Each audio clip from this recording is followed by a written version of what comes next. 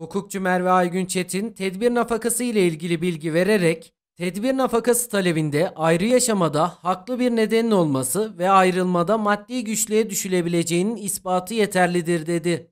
Evli olan bir çiftin ayrılma durumunda ayrılan taraflardan birinin maddi olarak darlığa düşmemesi nedeniyle verilen nafaka türlerinden birisi de tedbir nafakasıdır. Hukukçu Merve Aygün Çetin, tedbir nafakası hakkında açıklamalarda bulundu. Tarafların evlilik birliği içerisinde ayrı yaşamaya karar verdiklerinde yahut boşanma kararı aldıklarında mahkemelerce alınacak tedbirleri düzenleyen Türk Medeni Kanunu 169. maddesi ile 197. maddesi arasında bir takım maddeler mevcuttur.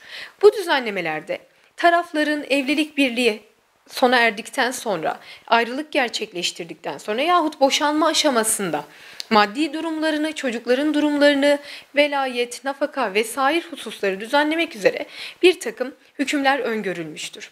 Bunlardan bir tanesi de nafakadır. Nafaka, Türk Medeni Kanunu gereğince dört başlık altında toplanmıştır. Bunlardan birincisi iştirak nafakası, ikincisi tedbir nafakası, üçüncüsü yoksulluk nafakası, dördüncüsü ise yardım nafakasıdır.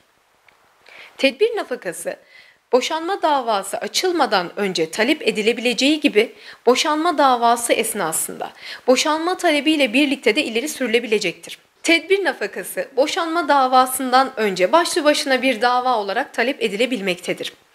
Kişinin erkek yahut kadın olması fark etmez, ayrı yaşamakta haklı olduğunu ispat etmesi durumunda karşı taraftan talep edebileceği bir nafaka türü olan tedbir nafakası gerek çocuklar için gerekse kadın yahut erkek için dava olarak ileri sürülebilmektedir.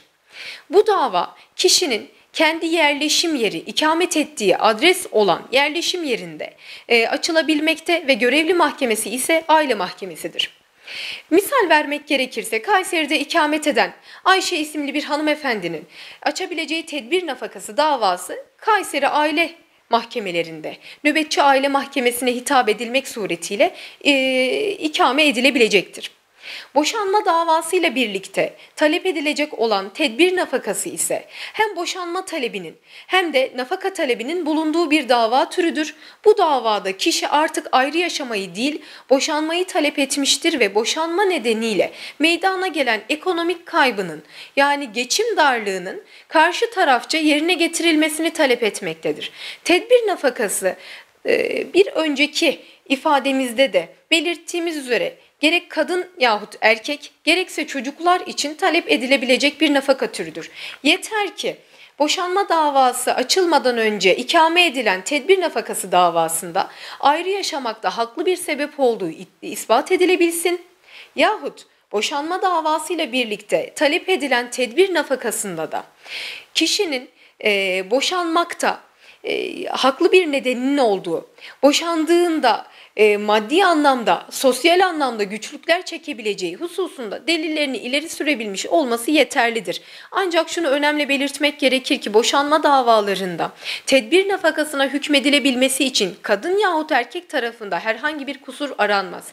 Kişinin ekonomik anlamda, sosyal anlamda güçlüğe düşebileceğinin ispatı yeterlidir. Bu bakımdan da e, nafaka miktarları belirlenirken e, erkeğin yahut kadının sosyal ekonomik durumuna, gelir gider dengesine bakılarak mahkemelerce bir nafaka miktarı tayin edilmektedir. Nafaka miktarı e, hakim yani mahkeme, aile mahkemesi yeni bir karar verinceye dek geçerli olacaktır. Verilen yeni bir kararda ya tedbir nafakasının artışı yahut tedbir nafakasının boşanma kararının kesinleşmesiyle birlikte yoksulluk nafakasına dönüşmesi şeklinde son bulacağını belirtebiliriz.